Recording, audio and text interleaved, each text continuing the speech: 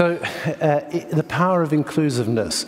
Now, if we go back in the world, say 30 years, we see that there was there were many signs of opening. Walls were coming down.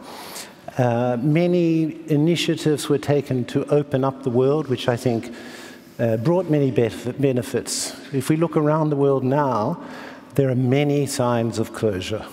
Walls are being constructed.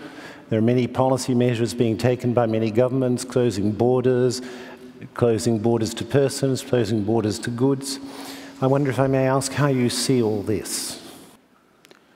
See, uh, yes, it's true, you're seeing that as a global situation, but we need to understand this bringing down walls without bringing down economic disparity is not going to work.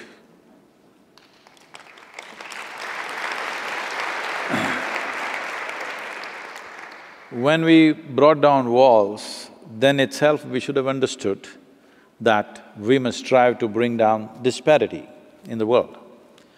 No man or woman wants to leave their home and go somewhere else to some strange land and live there just for survival. Nobody wants to do that.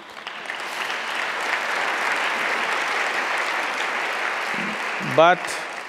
but it is uh, estimated that in the next decade, there could be about 1.7 to 1.8 billion people moving or migrating. When that many people start migrating, your wall is not going to work anyway. Wall… wall will work…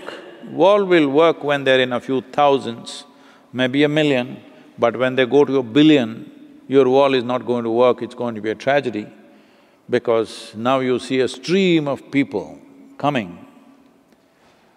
Well, can every nation just open up its borders and say, welcome, live on the streets? Not possible, yes?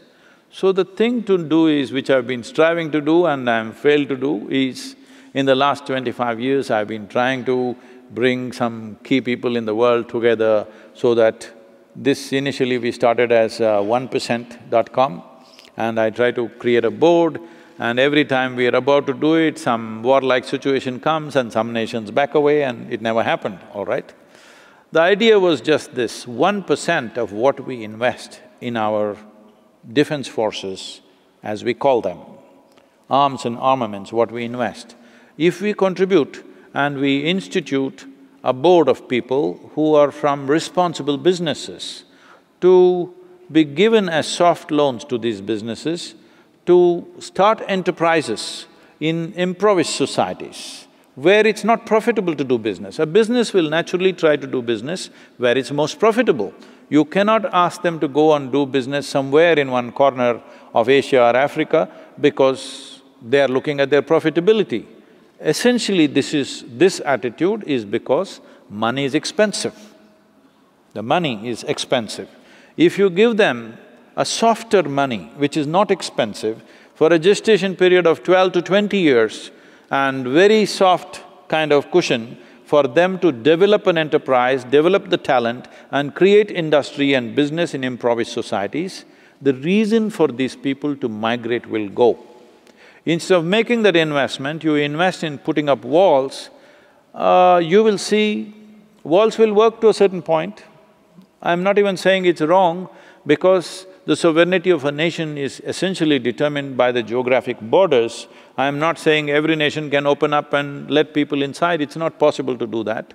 But you will not be able to control it this way, nor is it very humane to do it that way so the only way is, in some way we must see how economic disparity is lowered. We cannot level it absolutely, it's very, very far away, leveling it.